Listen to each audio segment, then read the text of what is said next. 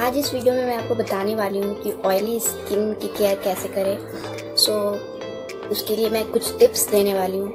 Tip number one कि foam based face wash का use करें जिसमें कि जो कि ऑयल बेस्ड ना हो फॉर्म बेस्ड हो जिसमें कि ज़्यादा से ज़्यादा फॉर्म बने फेस में फेस वॉश करते टाइम। सो so, इससे आपकी स्किन ऑयली नहीं दिखेगी। और दिन में दो बार फेस वॉश यूज़ करें।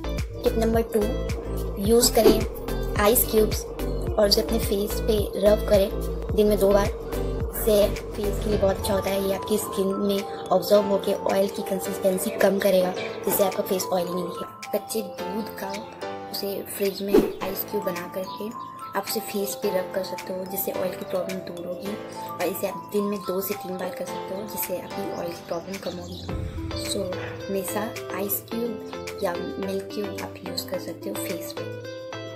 ऑलवेज यूज़ अ सीरम जिसमें कि विटामिन सी हो। विटामिन सी हमारे फेस में ऑयल के प्रोडक्शन को कम करता है एंड स्किन को हेल्दी और ग्लोइंग बनाता है। सो सीरम को कभी भी स्किप नहीं करना चाहिए। आफ्टर फेस वॉश आपसे यूज़ कर सकते हो। ऑलवेज यूज़ एलोवेरा जेल रात को सोने से पहले आप इसे फेस वॉश करके अच्छे से फेस पे लगाकर मसाज करके सो सकते हो। इससे आपकी ऑयल वाली प्रॉब्लम धीरे धीरे सॉल्व हो जाएगी।